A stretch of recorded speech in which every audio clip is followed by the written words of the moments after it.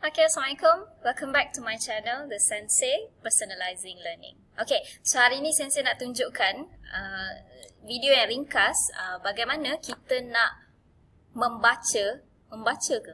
Kita nak membaca artikel menggunakan PDF tapi kita tak nak baca, tapi kita nak dengar je. Uh, so maksudnya PDF akan bacakan untuk kita. So means dia akan keluar suara lah eh. Uh, for example, katalah pergi flight jauh-jauh ke tapi kita tak nak baca, kita just nak letak apa uh, headphone and then kita nak dengar uh, somebody read for us that article. Okay so senang je cara dia. Okay katalah saya nak baca artikel ni eh. Okay cara dia adalah kita pergi kepada artikel kemudian kita highlight. Macam tu lah lebih kurang eh. Okay lepas tu kita boleh read out loud read aloud kita boleh tekan read aloud. Right click and then tekan read aloud. So bila kita tekan, tekan read aloud, PDF akan mula membacanya untuk kita. Ah, dan dia akan tunjukkan pula part mana yang dia baca. It has been argued that this strategy is capable of instilling students' problem-solving skills. However, despite its popularity in mathematics, The application on other subjects such as biology particularly, biomedia technology is still sparse. This study aims at identifying suitable strategies to okay, be incorporated. So, kita boleh tekan pause kalau kata kita nak pause kan. Uh, and then kita boleh tekan play button kat sini eh.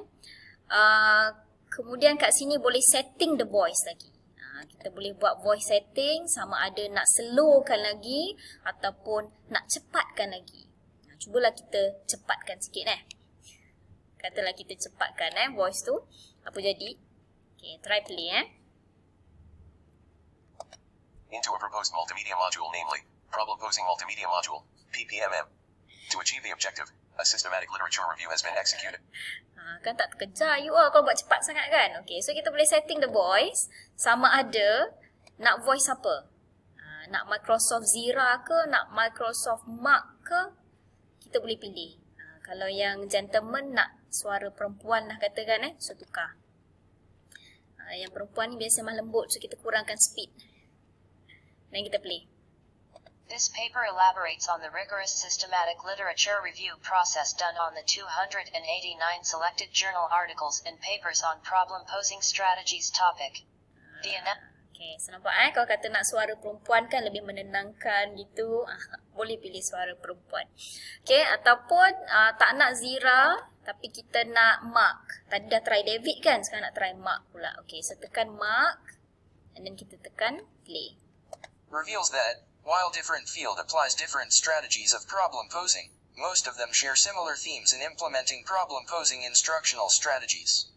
These are communication, collaboration, creativity and critical thinking, which are part of the elements advocate.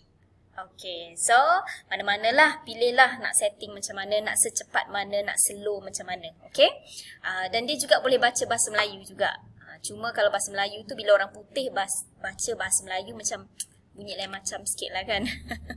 okay, so semoga bermanfaat. Uh, bolehlah menggunakan setting ini dekat dalam PDF. Ha, sekiranya anda tidak mau membaca atau penat mata dah nak baca, ha, bolehlah pakai headphone dan biarkan PDF bacakan artikel itu untuk anda. Okay, so please like, share and subscribe. Okay, jumpa lagi di video akan datang.